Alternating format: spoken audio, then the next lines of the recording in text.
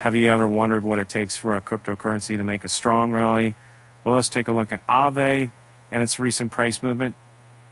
Aave managed to, to pull off an impressive 10% rally from its key support level of $61, bringing it closer to the $70 resistance level.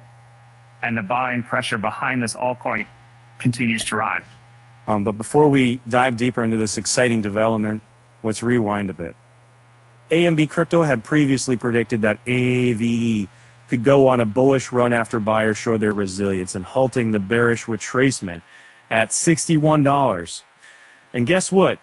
This analysis turned out to be spot on as evidenced by the recent price pump. Uh, while Aave was making its move, uh, Bitcoin was also uh, consolidating its bullish gains above uh, $29,000. So uh, there was even speculation that it could touch $30,000 in the coming days.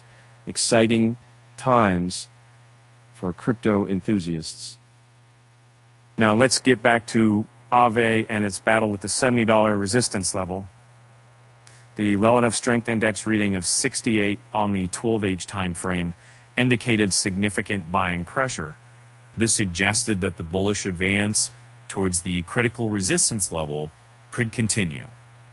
Adding to the optimism, the on-balance volume showed an uptick, uh, signaling that more buyers are eager to ride a bullish momentum. However, despite all this positive momentum, the both $70 resistance level has proven to be quite a tough hurdle for buyers. Price was rejected not once, but twice at this level on October 2nd and 5th. But don't lose hope just yet.